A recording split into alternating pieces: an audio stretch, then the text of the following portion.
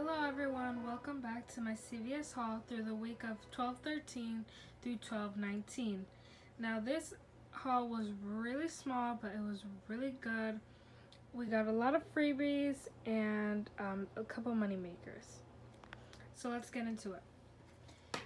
The first deal we'll talk about is the toilet paper deal. And right now they're $3.99. When you buy two, it'll be $7.98. And I had a $3 off of two CVS coupon, bringing the total down to $4.98. Now, this is a limit of one, and you'll get back a $3 extra buck for purchasing two, making it $1.98 for both, or 99 cents each. Next, we'll talk about the Beauty 360 Cotton. Now this one did come in a pack of three, but I took one out. Um, the Beauty 360 cotton rounds are $7.49 and the Beauty 360 cotton balls are $2.79 making it a total of $10.28. I did have a $2 off of 10 and three $1 coupons which these are all CVS coupons bringing my total down to $5.28. Now you get a $3 extra buck for spending $10, making it $2.28 for both or $1.14 each.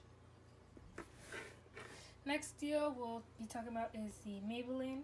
Now this was a moneymaker and you could choose between this item L'Oreal products or the Maybelline Baby Lips, but I chose this one because it was going to be a greater moneymaker. Now at my store, they're $4.29 for two, or 40 $4.29 for one. Now you'll purchase two for $8.58. Now this week at the Redbox machine, a $5 Maybelline slash L'Oreal CRT is printing out for everyone bringing your total down to $3.58 and you'll get back a $5 extra buck, making it a $1.42 moneymaker. Now, next deal we'll talk about is the Crest. The Crest this week is $2.99 for one. You'll purchase two for $5.98. Right now, there's a $3 off of two um, CVS manufacturer digital coupon, bringing your total down to $2.98 and you'll get back a $3 extra buck, making it completely free. Now, for all these items,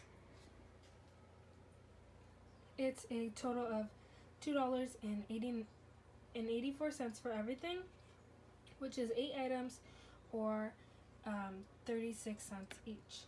Now, for the Kiss, at my store, this Kiss nail glue was $3.99 and um, my account got a $4 off beauty purchase. Now, I didn't include this into these deals because I know not everyone's going to have that coupon, but I did purchase this, making it free.